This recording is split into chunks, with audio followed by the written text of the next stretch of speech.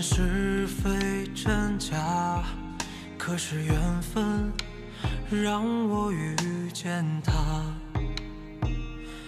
装聋作哑，一眼无言下，朝朝暮暮，只在一刹那。我并肩也无话，与他是放下，我无法自拔。我借笔留下风华，洗尽烟沙，沧桑变无暇。也让我放下牵挂，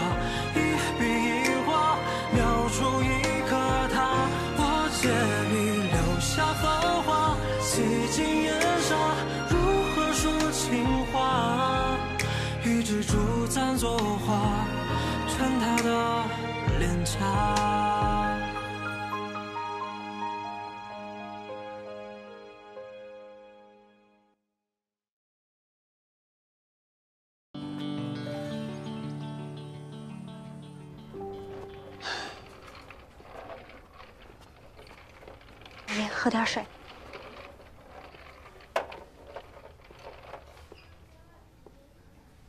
哎呀，你可别溜达了，我这头都晕了。这小子真是的，从来没让我们消停过一天。现在你人躺在这儿，他人呢？叔叔，有钱他去找那个进货的人去问清楚了。我到外面去打个电话。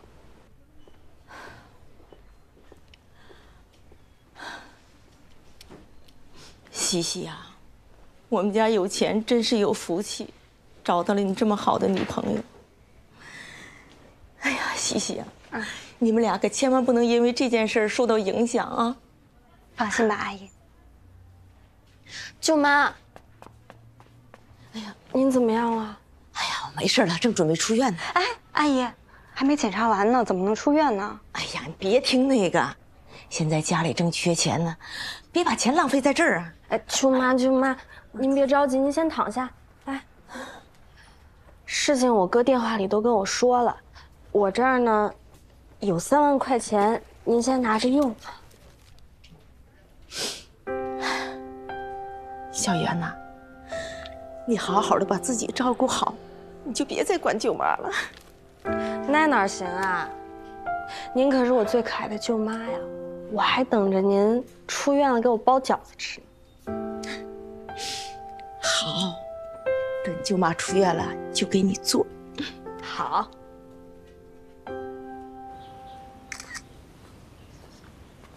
真好看，你看，我看看，这哪里好看啊？都虚掉了。这叫朦胧美。蒙你个头，哥！你看他给我拍的，丑死了。突然呢？哦，对，他刚接到他哥的电话，就风风火火的去了医院，让我告诉你一下，我 这一忙起来就忘了。你忘了？去了多久？呃，大概两个小时吧。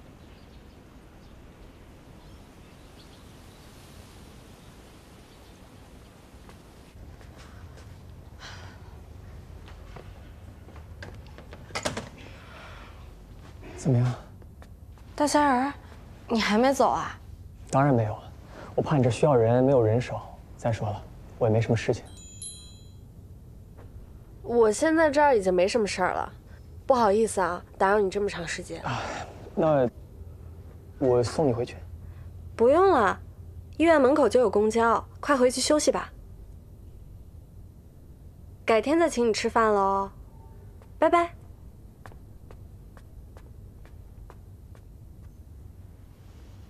小杨，我喜欢你。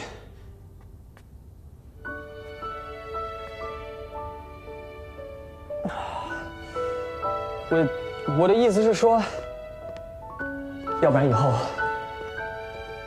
就让我来照顾你吧，好吗？大仙儿，你别闹。我没闹，我很认真。你对我来说一直都很特殊，在国外这么多年，我还是会想起我们小时候的样子。直到我这次回来见到你，我见到你面临的一切，我都想跟你一起面对的。我老是会想起你，我会想你，今天在做什么？你在哪儿？你过得好不好？我才明白这是爱情，不是大虾仁喜欢邱大院子，是我，左怀仁，喜欢你，邱远，就这么简单。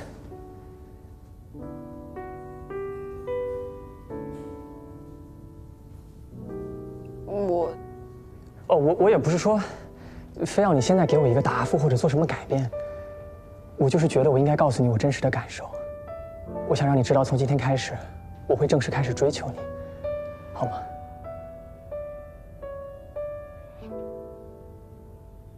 对不起，我，对不起，大仙儿。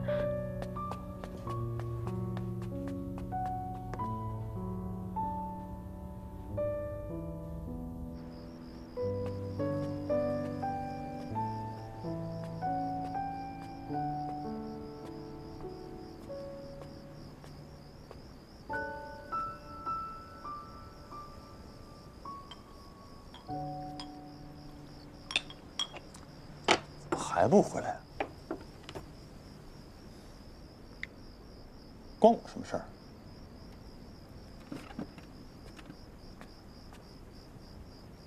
我是师傅，关心一下很正常吧？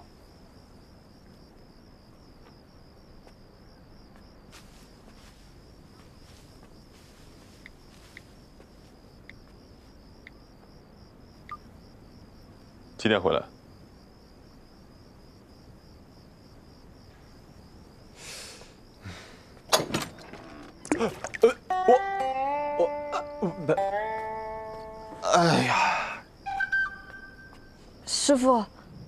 在干嘛？没干嘛。不，你怎么不捞出来啊？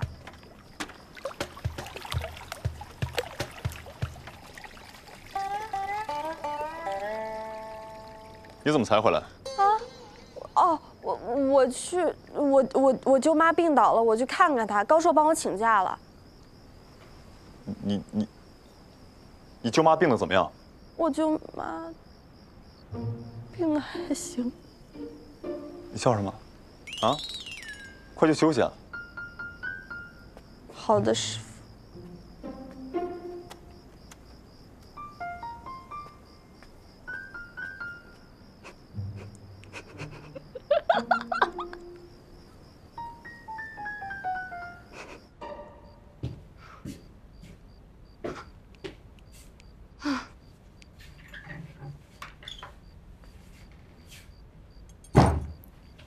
啊，怎么会这样？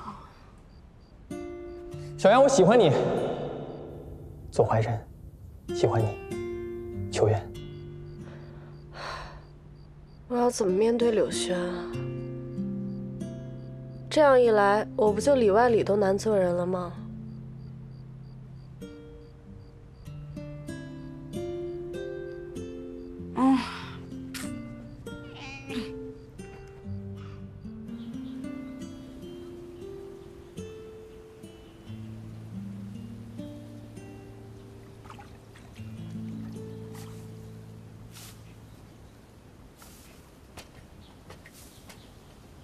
今天这天气好啊，是时候凉快凉快了。来，喝个甜的。谢谢。我师傅的呢？我不喝。你这徒弟教育的不错啊。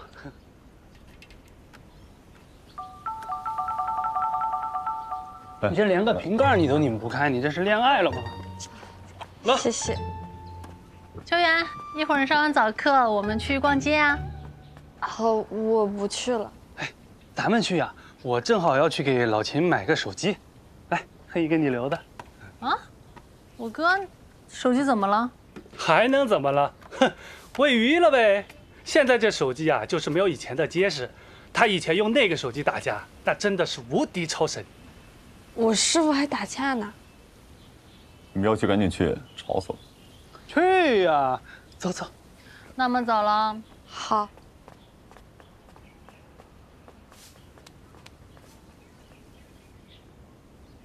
这也太尴尬了吧！我得赶紧找个话题。你家里的事儿需要帮忙吗？不用不用，我哥就是瞎闯祸，现在应该已经没事了。那就好。秋元啊秋元，你可真是话题终结者，你就不能八卦一下？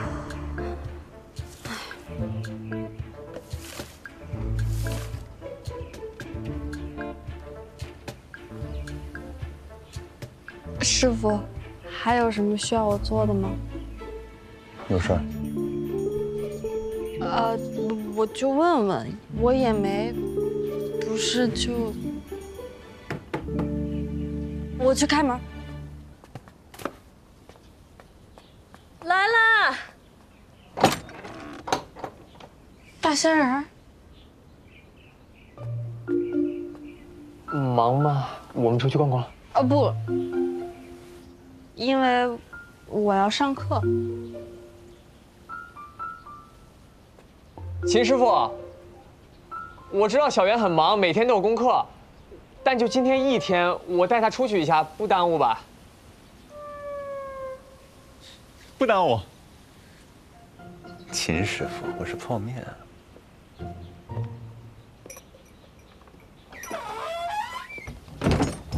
走了。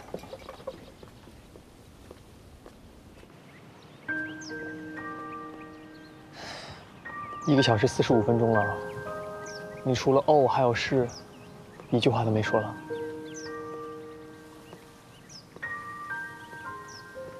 小袁，我跟你表白是想让你换一个态度看我，不是让你换一个人看我。我就是，我一直把你当成发小，你突然，我就不知道怎么面对你了嘛。而且，柳轩喜欢你，你不是不知道啊。他喜欢我是他的事情，我喜欢你是我的事情，这两件事情哪有什么交集啊？再说，我不是要给你添加什么负担，我只是觉得以我们的关系，我应该告诉你我的感受。你对我还像以前一样就好了呀。要是以后哪天你觉得我们的关系不止现在这样，我当然很开心。那你要是一直不这么觉得，我能把你怎么样？绝交？吃了你？太突然了嘛。就求你，你就别乱想了，好不好？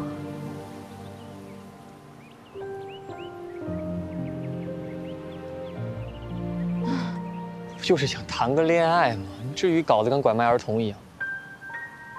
你倒不如卖了我。我真是败给你了。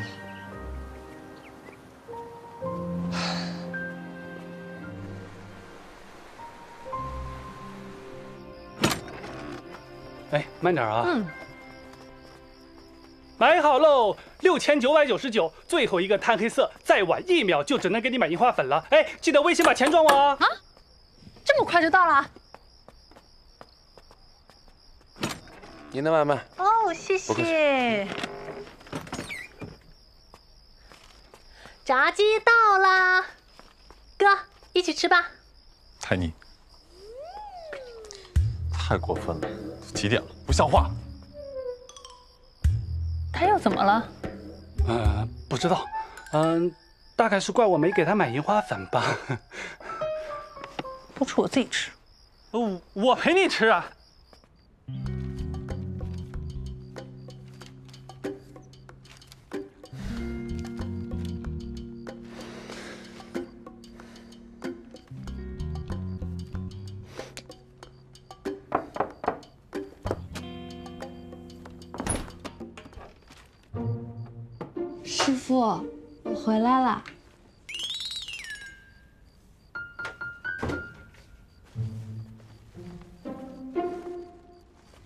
傅，我回来了。回来了，回来就回来吧，还要列队迎接你啊！师傅，我给你带回来了你爱吃的松鼠桂鱼和蟹粉豆腐，你趁热吃呗。哈，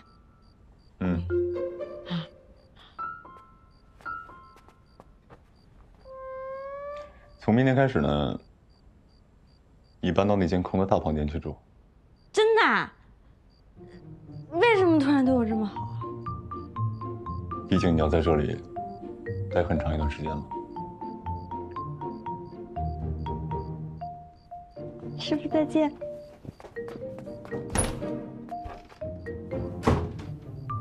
真会哄人！哎呀，谁吃炸鸡？呀，谢。宝宝。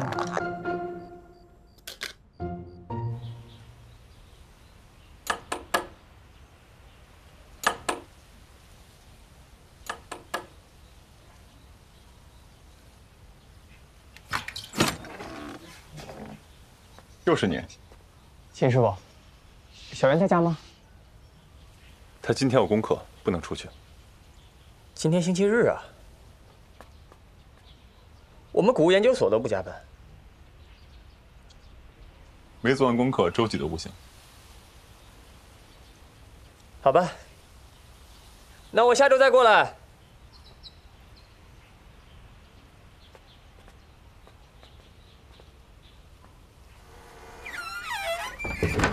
嗯，师傅，你想去吗？不呀，啊，今天什么功课呀？和面。这也算功课？去啊，还愣着干嘛？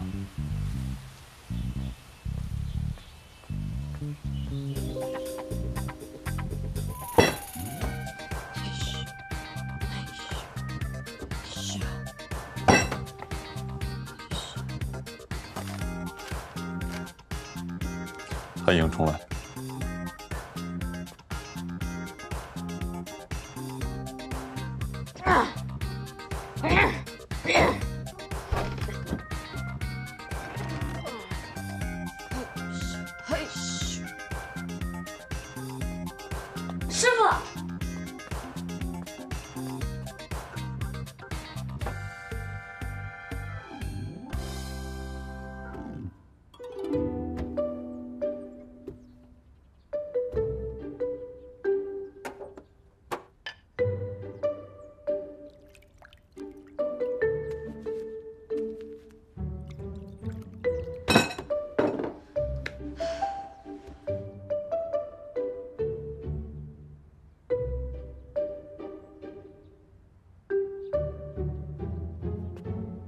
师傅，放桌上。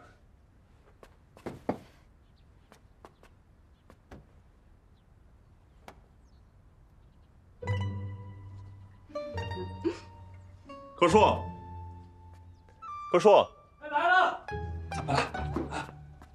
这个面适合做面条，明天中午吃。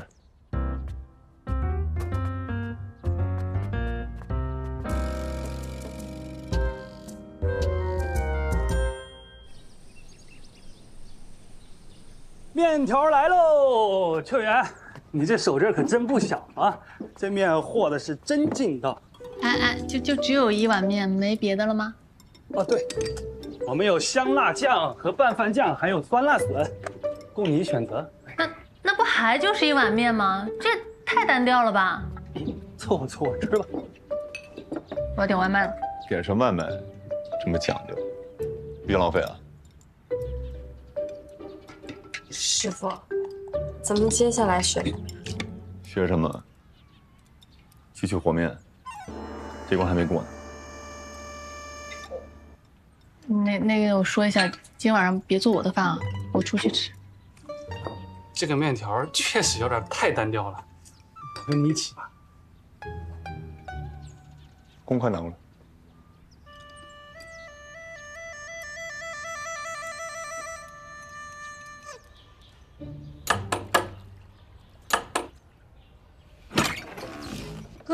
你怎么来了？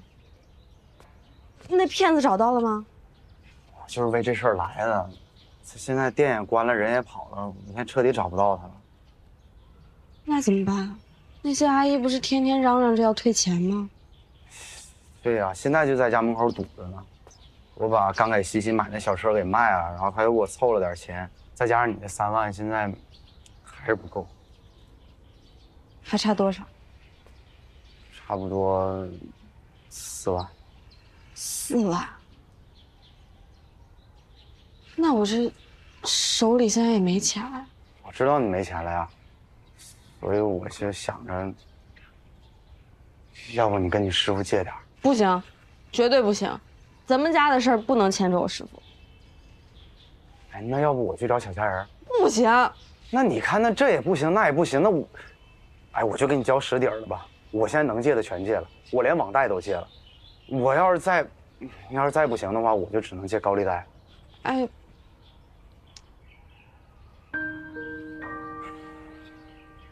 那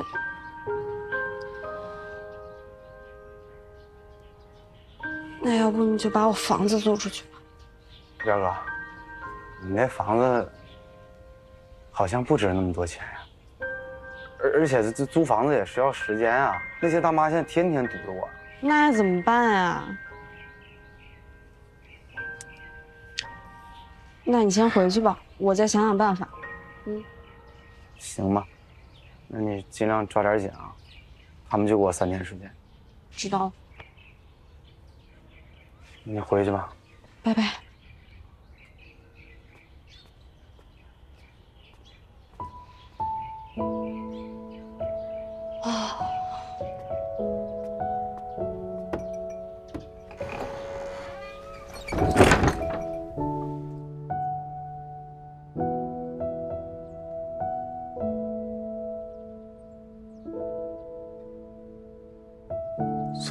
开始就魂不守舍，有什么事儿吗？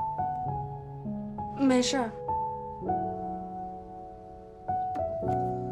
羊毛排笔用的时候，力道不能太轻，也不能太重，要刚刚好。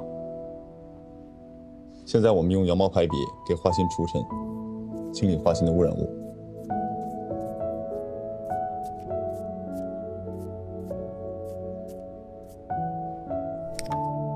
有的时候呢，我们也会用到其他工具，比如说棉花、海绵，还有橡皮擦。你看，像这些虫洞啊、断裂折痕的地方，都要格外留意。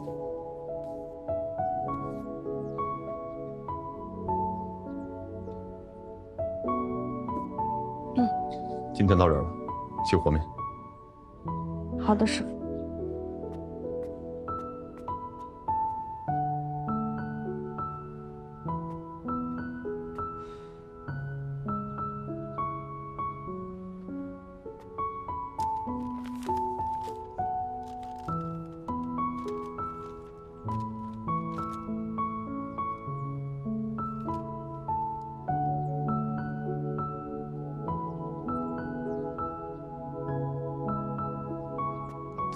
现金啊？给。这画有这么好看吗？你没事就看，看出什么了吗？这幅画总给我一种很熟悉的感觉。废话，你一天看它八百遍，能不熟？那个，我有事先去店里逛逛。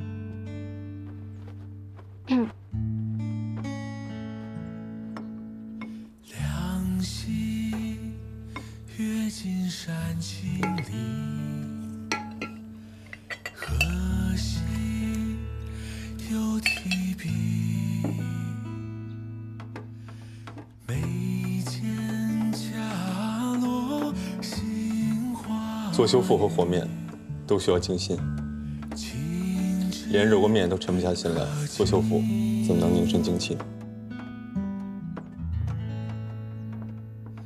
彩蝶飞，秋千梦回，一世一花两相随。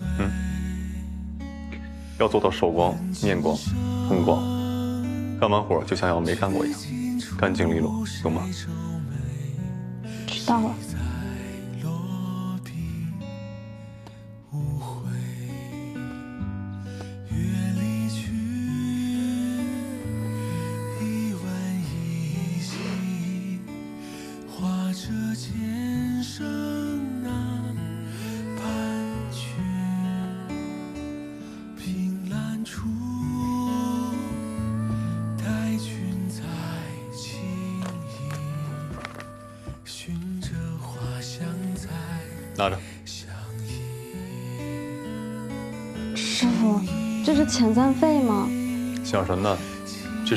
薪水，薪水不是按月发的吗？每个月都发太麻烦了，一年给你。师傅，你不会是听到我和罗有钱的话了吧？有那闲工夫，把面和好。谢谢师傅。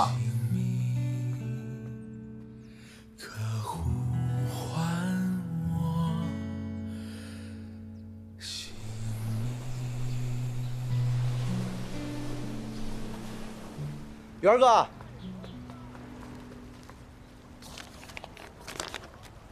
秦转给的。嗯，这秦转真是太仗义了啊！你这师傅果然拜对了。可是他越这么帮我，我越觉得压力大。所以呀，你就更应该好好跟人家学本事了，这样才不辜负人家对你的栽培嘛，是吧？是，可惜我连个面都活不好。这一关总算过去了。哎，元哥，你等我缓一缓，我请你吃大餐啊。不是，这怎么能就这么算过去了呢？真正的坏蛋还没抓到呢呀。哎呀，主要是他现在天天躲着我，怎么抓呀？而且这一行，就算抓着了，自己看走眼了也得认栽，抓着他也没辙。我就不信真的没辙。你上次说那蜜蜡证书是假的，啊，那鉴定机构也是假的。嗯我上网查了，这证书造假呢分为几种：假机构假证书、真机构假证书、真机构真证书，但是货是被调了的。这其中假机构假证书是最低端的一种，你连这档都能上，不是你进货之前你不做做功课的吗？你哥，我这不单纯吗？不过这假货造的这么假，这么低端，说不定是件好事。你把那骗子的电话和地址给我。你要干嘛呀？我跟你说，你你你可别别惹祸啊！你以为我是你？跟你哥说话。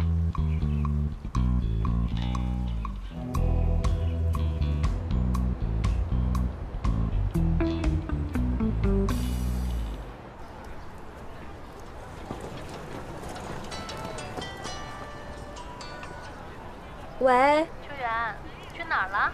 哦，我来文玩市场找个人。啊？哎呦，难得你休息，本来还想让你陪我去找左哥哥呢。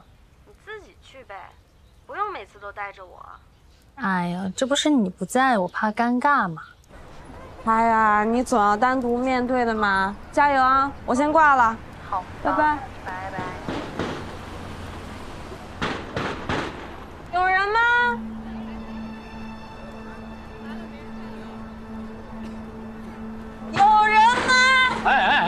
干什么呀？吵什么呀？我生意还做不做了？哦，我想问一下，这家店什么时候开门啊？你要买蜜蜡吗？嗯，蜜蜡我家也有，进来看看。呃，不用了，我我就想买他家的。为什么非要买他家呢？呃，因为因为他家有那种货。哦，你要找那种货，那你，那你跟我走吧。啊？不是，你不要找那种货吗？我的库房正好和大刘家挨着，我带你去，那能找到大刘吗？没问题。走吧，嗯。我出去一下啊。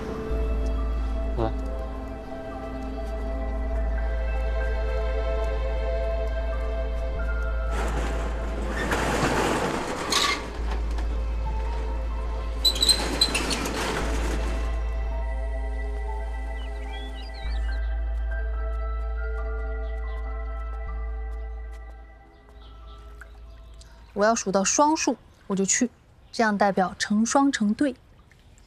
一只、两只、三只、四只、五只、六只、七只、八只、九只他们人呢？哦，高硕被李师傅叫到店里去了。秋元说是去什么什么文玩市场了，他去文玩市场干嘛？说是找什么人吧。哎，奇怪，也没听说他在那儿认识什么人啊。他去哪家文玩市场？那没说。给我打电话呗。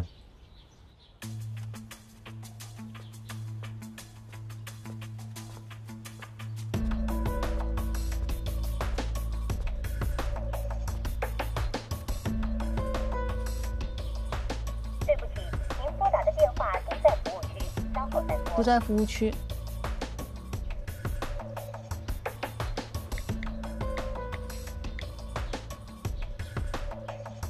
这就回去。你马上给罗若贤打电话，问他蜜蜡是在哪家文玩市场买的。啊？什么蜜蜡？让你问就问，怎么那么多废话？哦，好好好好好。哎，我突然想起来，我还有事儿，要不咱们改天吧？哦，从这儿走出去，拐个弯就到了。走吧。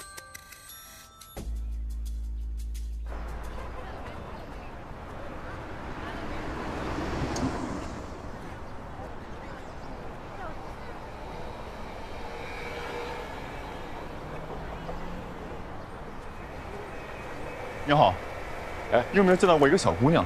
瘦瘦的，差不多个子这么高。好像看见了，被大胡子领走了。大胡子是谁？啊，就这家店的老板，整天骂骂咧咧的，谁都不愿意搭理他。他们去哪儿了？去看货去了。在哪儿？那，这一直往前走，再往左走，啊，再往右走。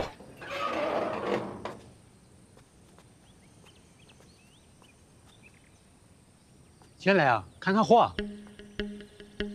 要不您拿出来给我看看？我还要一块块捧出来给您看呢。进来吧，我不害人。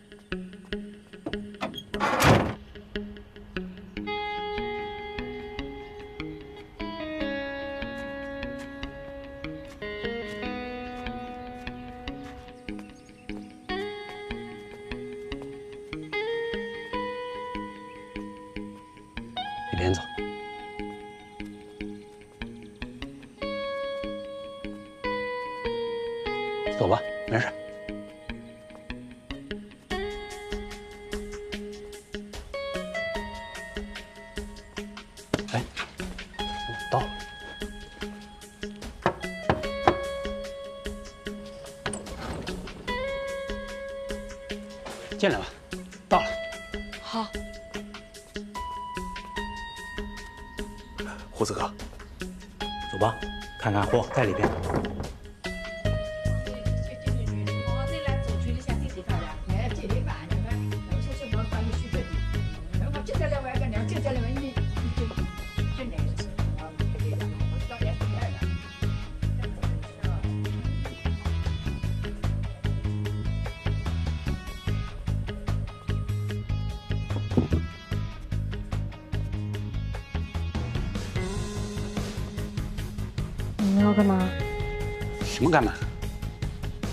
要找大刘吗？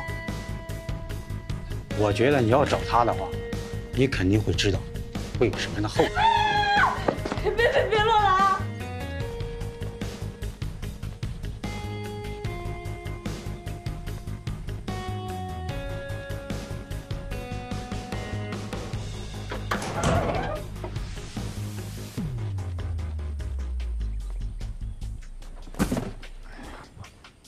都清理干净啊！啊，好，手脚利索点。哎，知道了。好嘞。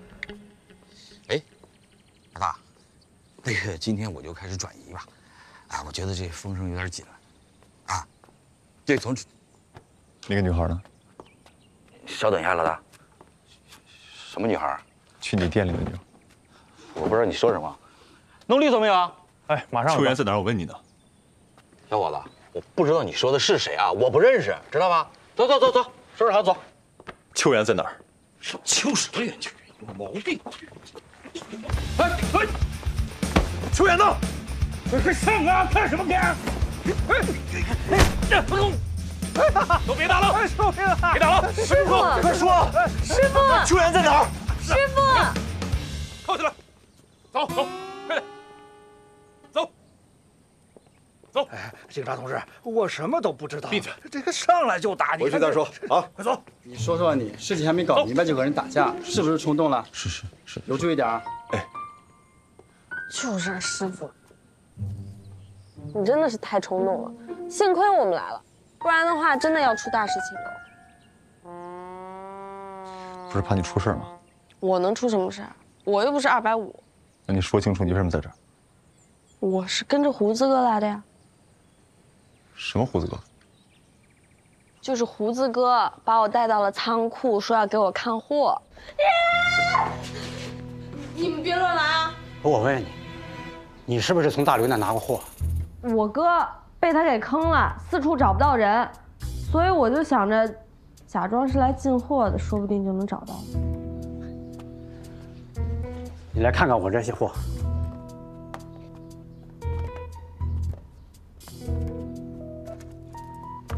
看看，这是我们哥仨几个奋斗了这么多年，四处搜罗来的好东西啊！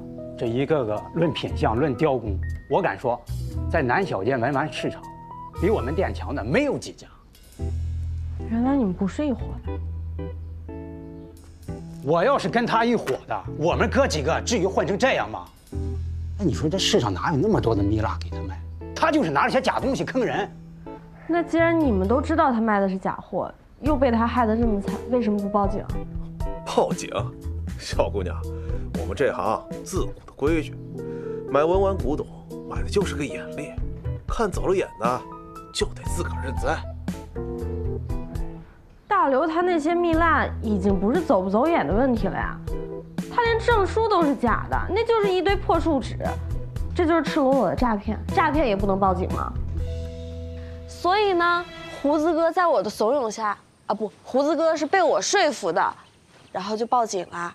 谁知道我们刚带着警察进来的时候，就看到你正在骑着大溜达，我的天呐，那场面！师傅，你这样真的太冲动了，这样不行的哦，不行的。你连手机信号都没有，我能不着急吗？我又不知道我会被带到这儿来。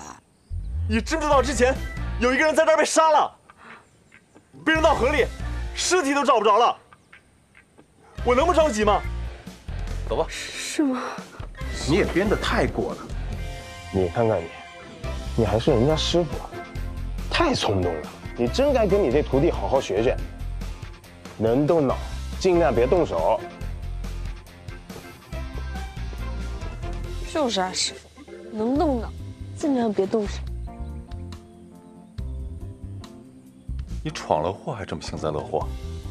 错了错了，师傅喝水。不用了啊！你看你又冲动了吧？哎，要我说，可是修复大神，你的脸压根一点都不重要，你为什么还要用手挡呢？这是你铁饭碗。你闭嘴！你看你，还不虚心接受别人的意见。你走开！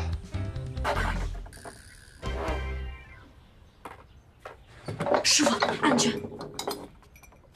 等会儿听他们俩怎么说，知道吗？知道，就说你长了一个巨大的青春痘，挤的时候力度没掌握好，淤青了。嗯，淤青了。老齐，你可回来了！我跟你说，我刚看见那野猫叼走了你一条鱼。你你你让下！哎，这可不是我没有喂鱼啊！最近那野猫也不知道怎么了，老来咱们院子里折腾。都说，哎，你看一下呀！看哇！别到时候又说是我没照顾好你的鱼。哎，高硕，不是老秦他怎么了？他长了一个巨大的青春痘，急于青了，不想见人。啊？都多大年纪了还长痘？你管人家呢？不许动啊！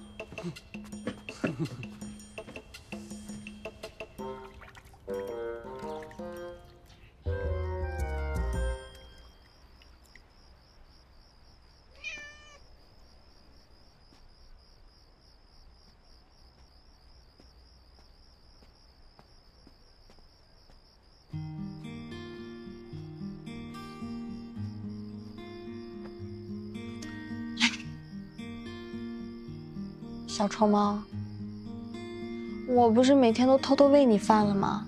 你怎么还去抓我师傅的鱼啊？啊！你要是再这样的话，我就把你逐出师门，知道了吗？你认真听好啊！进了小院呢，就要守小院的规矩，不能乱跑，不能乱叫，哎，更不能打那金鱼的主意，知道了吗？不然我就不理你了。看来你还是听得懂我的话。那既然你这么乖，我就给你起个名字吧，好吗？叫什么呢？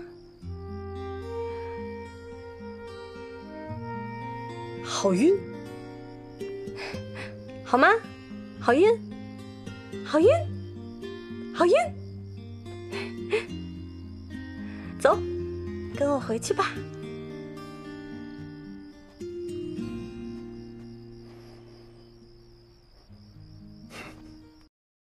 月里青山淡如画纸，清洗古字画片。如果你拥有一把美工刀和一支排笔，那么恭喜你，已经具备了清洗一张古字画的条件。当你有需要清洗的古字画时，可以拿起你的美工刀，轻轻地剥去古书字画的外衣，使画心与装饰表边分离。取出准备好的排笔，然后蘸取热水，给画心做一个热水 SPA，使画心饱含水分。这时，我们就需要请出水壶小姐与镊子先生，为画心做一次浮力拼对。服务结束后，将毛巾润湿、拧干，盖在画心上，吸掉水分。之后拧干毛巾，卷成卷，给画心来一套全身推拿。经过多次操作，当拧出的水分开始变得清澈时，就说明画心已经清洗干净了。一颗